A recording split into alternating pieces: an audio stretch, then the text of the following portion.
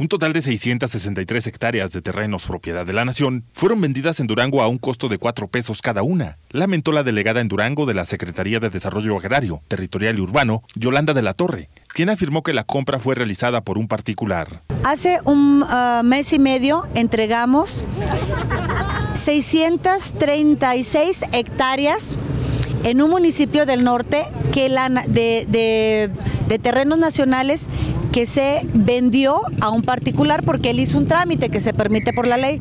Después de, algunos procedimientos, pues le entregamos 636 hectáreas. ¿Sabe a cuánto se le vendió? 636 hectáreas, propiedad de la nación, hoy propiedad de un particular a cuatro pesos la hectárea.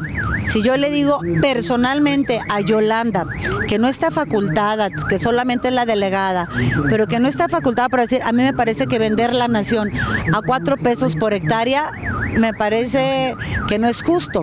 La venta de los terrenos federales, ubicados en un municipio al norte del estado, representaron al particular una erogación de 2.652 pesos por las 663 hectáreas que recibió. La evaluación fue realizada por el Instituto de Administración y Avalúos de Bienes Nacionales, INDABIN.